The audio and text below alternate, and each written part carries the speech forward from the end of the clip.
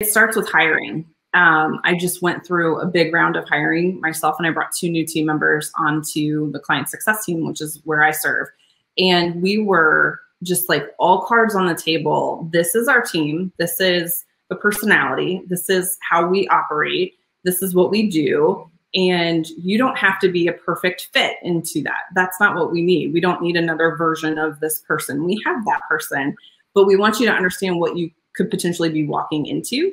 And they signed up for that. And so I think that's it starts in the interviewing process to say, we have team meetings every Monday morning.